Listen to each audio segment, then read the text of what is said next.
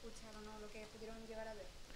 Bueno, mira, eran cerca de las 3 de la mañana y estábamos reunidos y se escuchó dos disparos, pensando que era petardo, pero no, se escuchó tan claro que, que no, era, no, no, no era nada de petardo. Entonces este, mi cuñado salió, bajó porque esperamos a un amigo, pero, pero no, no era él y, y entonces ya había, estaba la gente, estaban llamando a la policía, a las ambulancias.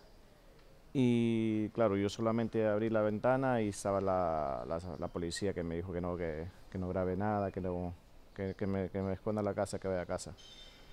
Y bueno, yo solo vi que lo están reanimando. Las características era unos 38 años, pero no lo vi la cara, no vi la cara nada, solo de, de cuello para abajo.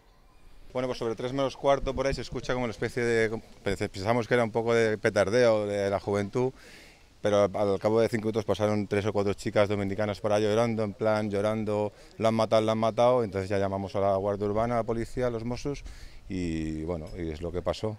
Ya calculamos que no había sido un petardo, que había sido un tiroteo. Y nada, coordinó toda la zona a, los Mossos y, y, para adelante. Empezaron a decir los Mossos buscaban a dos chicos en patinete, al principio con, con moto, y, y ahí se quedó la cosa. Estaban buscando por los coches, en plan lo que hacen ellos. Y eso es lo que, es lo que hay. Bueno, me desperté con el tiroteo y a lo digo, no, no, calculas que ha pasado esto. Y al rato pues sí que ya empiezas ya a calcular lo que ha pasado. Pero vamos sorprendidos, porque sí que hay un bar aquí de dominicanos, pero siempre ha sido gente muy maja y muy, bueno, su, su rollo latino y su esto, pero nunca han dado ningún, ningún tipo de problema ni nada. Y esto es lo que, lo que pasó.